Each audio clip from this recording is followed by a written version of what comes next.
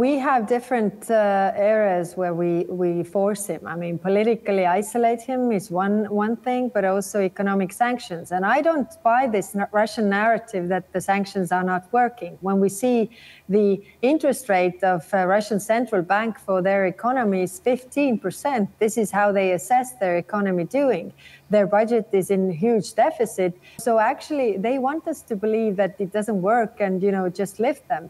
But what I agree with is that we have to also think about the out of the box solutions that will make them uh, reconsider. And one of them is uh, using the frozen assets uh, to the benefit of, of Ukraine. This is something that Russia is definitely afraid of.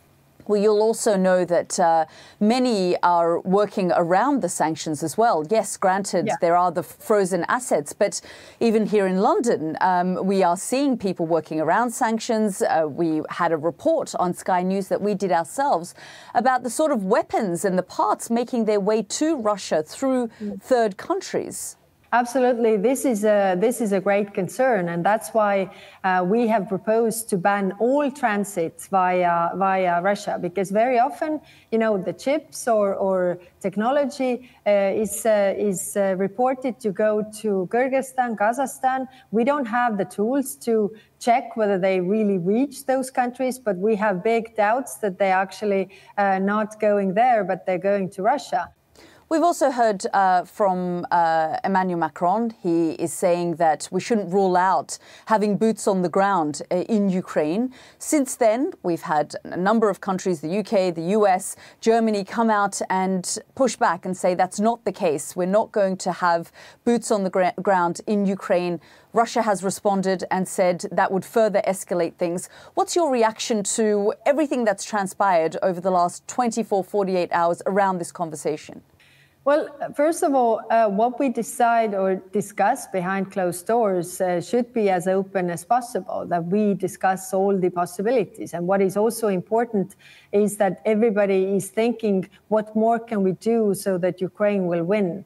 Because without victory as a goal, we don't achieve anything. So you're uh, not so, ruling uh, out boots on the ground? You, you think that uh, Emmanuel Macron was right? Well, he didn't propose boots on the ground in a in a very classical sense, but I think what we have to think is what more can we do, and and what we discuss behind closed doors. Uh, we have to be open about this. Of course, we are all democracies, and and there uh, we also have to take into account the public opinion that different countries have. But what I want to stress is that. Uh, you know, um, we shouldn't be afraid of our own power, which means that Russia, you know, is saying that, you know, this or that step is escalation, where, you know, defense is not escalation.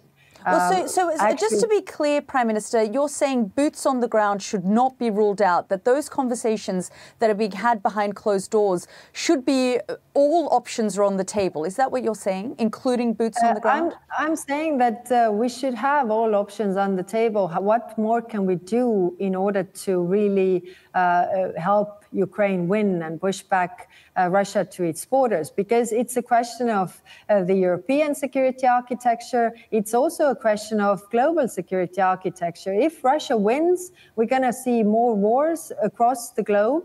And uh, this is uh, uh, nothing that we want to see there are discussions about uh, and concerns around uh, America stepping back and Europe potentially being forced to, to step up. There is a conversation around arming Europe that uh, countries like Estonia have woken up to the threat of Russia and say that, you know, we need to be in a position, especially around cyber, uh, to, to be better equipped. There's also a conversation here in the UK uh, around a citizen army. Um, we've had pushback from the chief of the defense, uh, and he said there isn't a threat of going to war uh, with Russia. There isn't a concern around a citizen army. Do you think that is wrong, that, that Europe, the UK, needs to prepare itself for war with Russia? Um, defense is not escalation, and, and defense, building your defense forces is also acting as deterrence to Russia.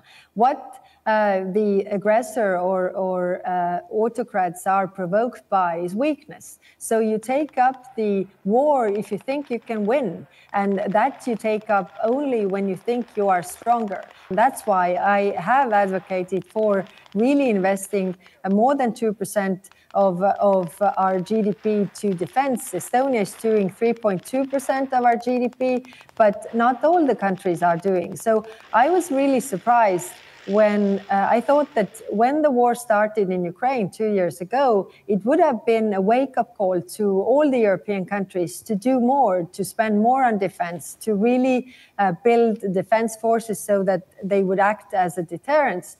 Where uh, it hasn't been so. In 2023, it was 11 countries that spent over 2%. And I don't really understand why, because, you know, in 1988, all the NATO countries spent more than 2% because uh, the threat was real. There was a Cold War going on. Now there's a hot war going on in Europe, and still uh, not everybody is taking it uh, seriously enough. This is a criticism of Donald Trump. Um, was he right then? Is it fair critique? Um, fair critique is that everybody should do more uh, for, for European defense as well. So I'm just going to push on a couple of um, issues. The first is the concern that uh, Moldova might have uh, around uh, Russia opening a new frontier and, and the worries around a referendum in uh, Transnistria. What are your concerns when it comes to that? Moldova is in a very uh, fragile state, being uh, uh, in the middle uh, there and, and a small country. So we definitely have to keep them in mind when we are helping Ukraine as well, so that they are not left behind. And are you worried about the future of Estonia? We shouldn't be worried. If we are able to help Ukraine to defend themselves, then they're gonna. There are no next or there's not going to be a question who is next. When Russia wins in Ukraine, then we have to worry about uh, NATO being next. Uh, and of course, uh, most recently, Prime Minister, you were put on a Russian wanted list. Are you worried about your safety? No, I'm not. I guess when we've seen the way that the Russians have operated, uh, you know, when they have uh, attacked citizens and and people outside of the country, does it not worry you in in any way, uh, given you're now on this list? Well. Um Russia wants to intimidate us. Uh, this is how they operate. Uh, they want to make me or Estonia afraid and uh, to make us refrain from the decisions that we would otherwise make. Uh, to you know be advocates for supporting Ukraine, the Western unity, everything that really annoys them a great deal. Uh, but I think the response to it is that we shouldn't be afraid uh, and we shouldn't refrain from the decisions that we would otherwise make because this is how you know terrorists operate. They want us to be afraid and the only is, response is that we are we are not afraid. We act what is what is right. Prime minister thank you so much for your time. Thank you